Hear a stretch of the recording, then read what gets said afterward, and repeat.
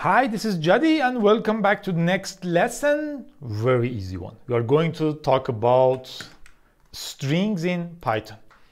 Uh, you know how to run your Python environment.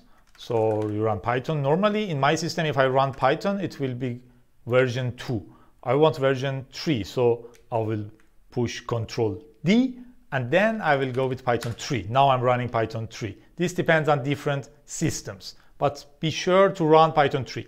It's okay if you are running 3.7, although at the moment 3.9 is the latest release.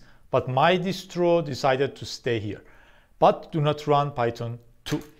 Still, there is no big difference. Control L will delete the screen so you can give your commands. You remember, if I say 5, it will return back 5. 5 plus 3 will be 8. So how to define a string? I can say hider. The answer is hider. You saw I use double quotes. It returned back with a single quote. No difference practically. So I can say hider. They are equal. Okay, normally if Python wants to show them, uses single quotes. I'm more used to double quotes because I'm coming from another language, but no difference. So that's all. You learned strings in Python. Although we can show a few more tricks. String meaning in hider multiplied five times. Yes, it's hider, hider, hider, hider, hider. But there is no division because it's meaningless. If it has a meaning, it will do it. Is there a meaning with say hider plus Jadi? Yes. This is hider string plus Jadi string. I use one space here to make it more nice. This is cool. So for sure there is no minus because it's not logical. Python is a very logical system. Uh, what else is fun? Hider plus 4. Meaningless. And it's very, very good. Start from up right here and read the error messages. It's very useful. For example, when you say hider plus 5, it says traceback. I had an issue. It is a type error. Type string cannot be added to type integer.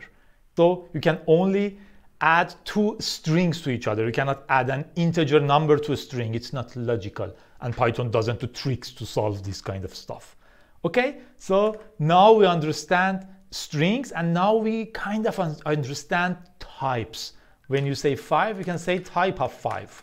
It says, okay, it's kind of an integer number. If you say 5.5, it says, okay, floating point. Floating point is what we call the numbers with a decimal point and also type of my name. It's a string, so class str is its type.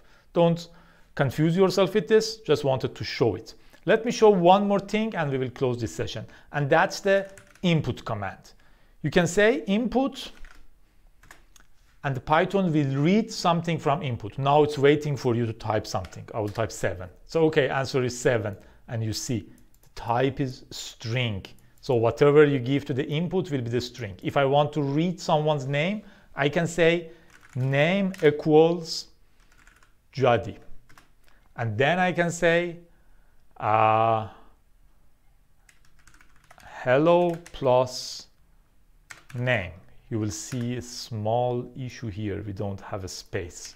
So let's do this like this. Hello Jadi if I didn't knew the name is Jadi, I could say name equals input. So the system will wait for the user to input some name. I will say name is, I don't know, Joe. And then if I have the same line that's hello name, that would be hello Joe. To make life a little bit easier, I will push Control L to clear screen. You can say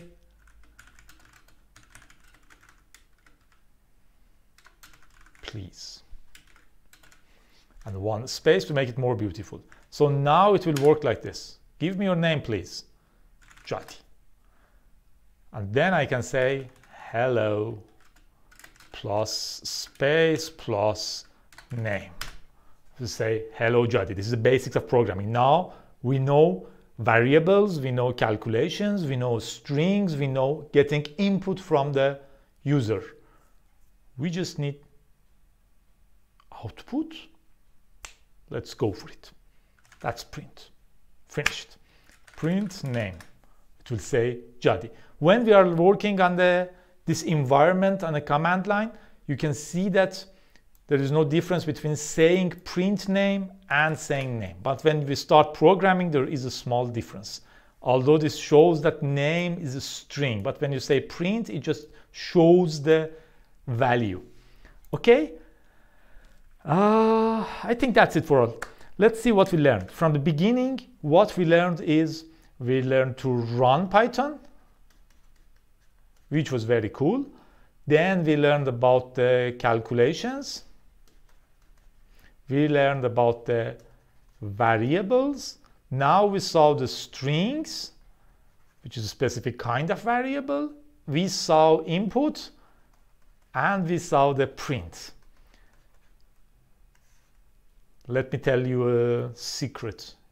In every single programming language you, you learn, these are the steps you should take, and there are a little bit more.